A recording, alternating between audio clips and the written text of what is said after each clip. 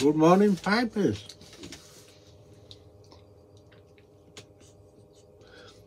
Hope you're all well. We're doing good, aren't we? Hey. Hope you all had a great Easter break.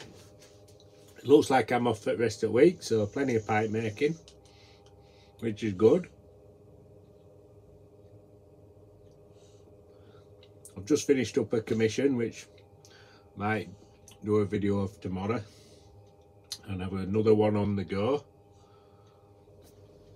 So that'll keep me busy.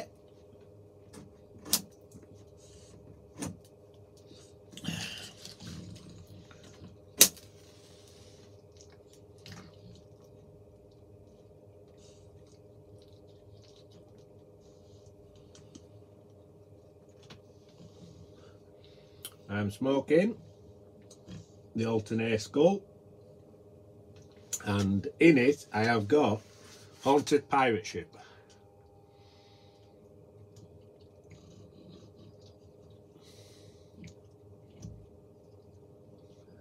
Which is a lovely sweet lap bomb. It's, uh, I mixed this up about three months ago maybe. Maybe even four uh, for you that don't know, I'm pretty sure everyone knows, but it was created by the Great Matches and uh, it is the 50-50 mix of Haunted Bookshop and Pirate Cake. It's really nice.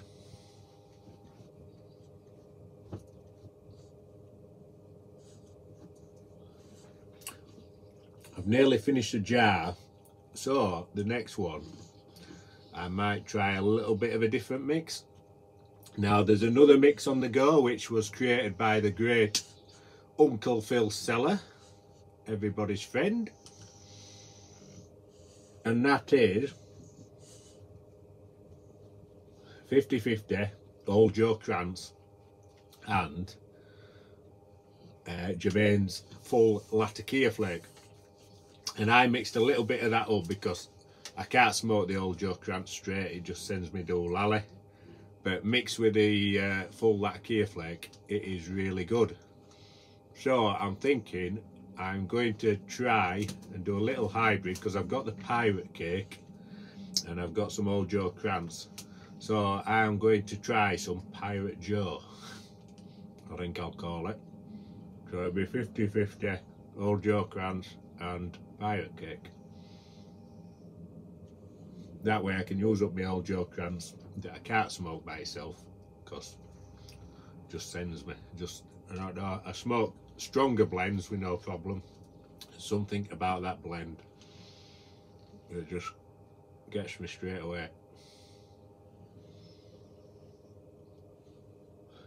Talking Tommy's probably on the right track with it, saying because it's a dry blend and it is strong. It's just you, you it smokes quick so taking a lot of nicotine in very quickly but it's it still gets me more than other tobaccos regardless. Anyway enough rambling.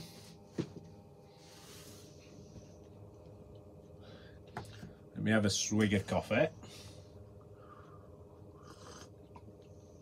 and then I can show you the pipe that I've got available.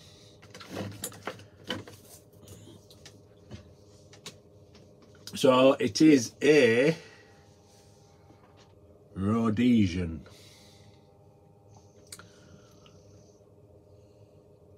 And obviously it is a sandblast.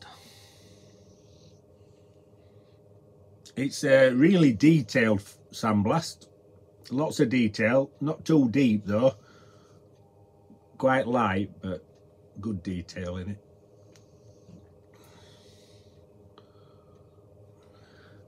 And then we've got this lovely boxwood ring on the shank complemented by a boxwood ring in the stem with this half saddle. Nice neat slot and button no filter There's a boxwood ring.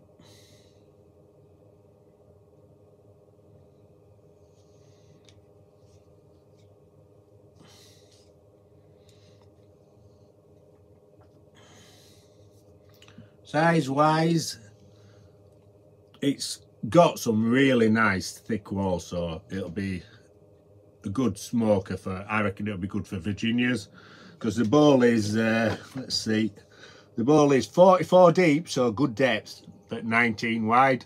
It's a parabolic, so be perfect for flakes, and with them nice thick walls, it should uh, destroy them. We've got uh, the Eldridge black resin on there so no oxidization and the length is 142 mil. It's 55 tall and the weight is 68 grams. So not too bad for an hefty chunk. But it feels nicely balanced.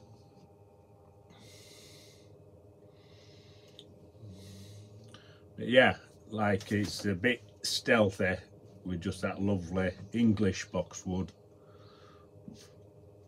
If it can pick up the detail in it. Slightly get the grain there. Love boxwood.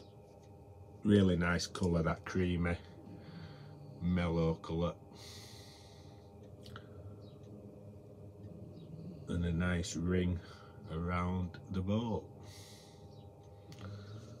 So as ever, all details will be below.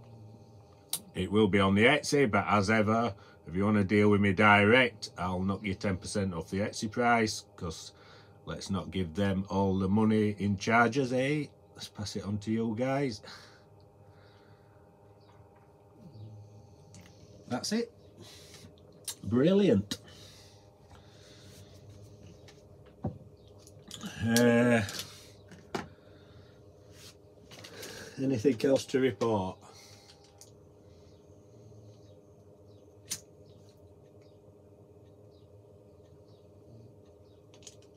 The weather's cracking here.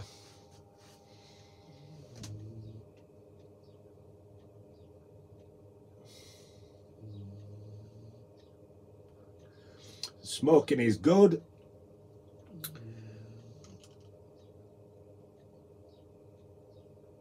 Can't think of anything else. If I do, I shall pop it in my next video because like I say, I finished up a commission so I'll take a video before I send it out and let you guys all see it because it is a beauty. So, if you're back at work, it'll soon be weekend. If you're not, enjoy your time off. But whatever you're doing, enjoy your smokes and as ever stay smoky my friends